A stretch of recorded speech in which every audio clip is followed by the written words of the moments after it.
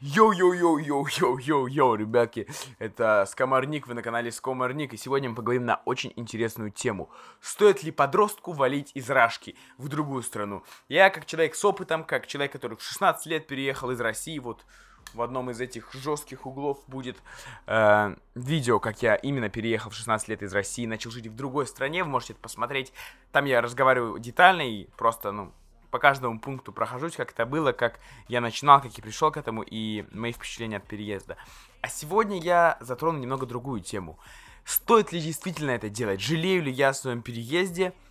Нет. Э, и советую ли я вообще своим ровесникам, своим друзьям и, ну, в частности, вам э, переезжать в другую страну? И, пожалуйста, не заостряйтесь на России. Просто я говорю России из-за того, что я жил в России, но, в принципе, если вы из Украины, из Беларуси, из Казахстана, хуй знает еще откуда, то это вам тоже относится. Я не говорю конкретно про страну Россию. Но я буду говорить Россия, потому что мне так проще просто. Я, я сам из России, мне так проще будет. Хорошо, так что не надо никакой предвзятости. Немножечко расскажу моей истории, опять-таки, чуть-чуть, очень вкратце. Э, я переехал в 16 лет, из России в Израиль. Это было, получается, 10 класс школы. Я бросил все в России, переехал в Израиль, начал здесь социализироваться, начал здесь общаться с друзьями новыми. Начал дружить, начал меняться, начал... Ну, в общем-то, я начал новую жизнь. Про это есть куча роликов на моем канале, можете также глянуть. И, в принципе, как я и говорил ранее, моя жизнь делится на две части. На жизнь в России и жизнь после того, как я переехал в Израиль. И вот я уже живу в этой стране два с половиной года, и у меня сформировалось достаточно четкое и устойчивое мнение по тому, рад я тому, что я переехал, или же я наоборот не рад, какие плюсы этого, какие минусы, и советую ли я вам переезжать в другую страну, если вам, условно, там, от 15 до 22, 3, 4 лет. Во-первых, вам нужно изначально понимать, что из-за того, что вы русский, у вас уже есть много привилегий. Я вам честно скажу, у русских самый, ну, возможно, это как бы немножечко патриотизм, да, но опять-таки, когда я говорю русских, я говорю про другие народы также. Э, именно русский менталитет, он самый пиздатый. У вас очень развито коммуникационные свойства. У вас очень развито м, сострадание. И просто, честно говоря, русские вот именно с их менталитетом, они очень легко входят практически в любое сообщество. Если вы нормально умеете коммуницировать, да, просто вы не замкнутый человек, то вот эти все ваши параметры, они очень подходят для того, чтобы влиться практически в любой коллектив, потому что вы являетесь таким человеком достаточно честным. Русские очень честные, порядочные, э, пунктуальные. Потому что, допустим, если я смотрю на детей в Израиле, хоть я их тоже искренне, то есть уважаю и считаю классным народом, но у них допустим, у израильтян, будут большие проблемы с тем, чтобы интегрироваться в другое общество, потому что они, ну, чересчур наглые, чересчур там еще что-то. И, ну, в принципе, для них это нормально, но другие люди из, допустим, другого сообщества, да, с другой стороны, они будут их совершенно по-другому воспринимать, не так добродушно и... Ну, ну, конечно, я не говорю за всех, но просто я говорю про то, что именно русский менталитет, он очень хорошо воспринимается в любом комьюнити, в любой стране русский менталитет это тот менталитет, который всегда, в общем-то, welcome to our family. Так, и, пожалуй, я поставлю точку над тем, стоит или не стоит, направлю вектор уже, да? Э, стоит ли переезжать в другую страну? Да, стоит. Сто процентов стоит. И сейчас я вам расскажу, почему. Первое, это, конечно же, смена, полная круга общения, полная смена э, твоей позиции и, в общем-то, вход в такую зону дискомфорта, выход из зоны комфорта.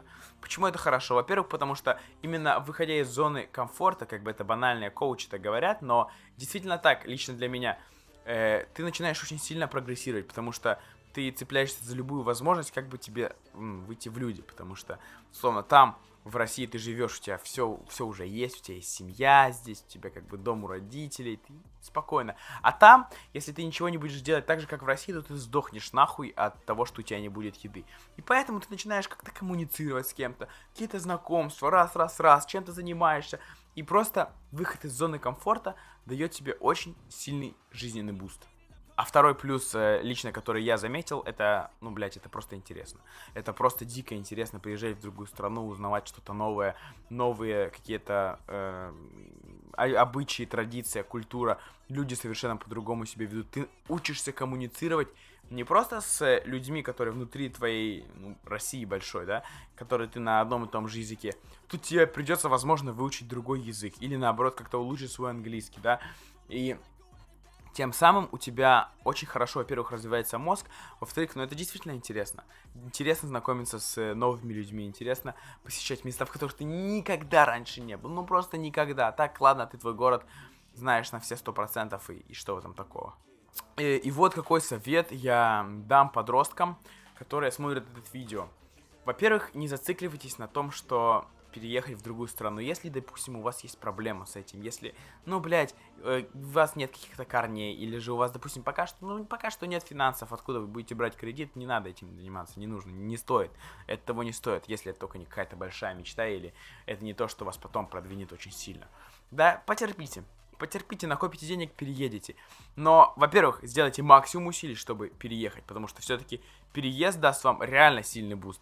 И все-таки я советую всем прямо, ну так, разъебать нормально, чтобы все-таки постараться переехать в какую-то страну. Можно поехать учиться, поехать в ВУЗ, там, на какой-то э, обменный курс, где студенты меняются э, странами и учатся, хотя я не знаю, кто сейчас захочет ехать в Россию, блядь. Ну, допустим, да.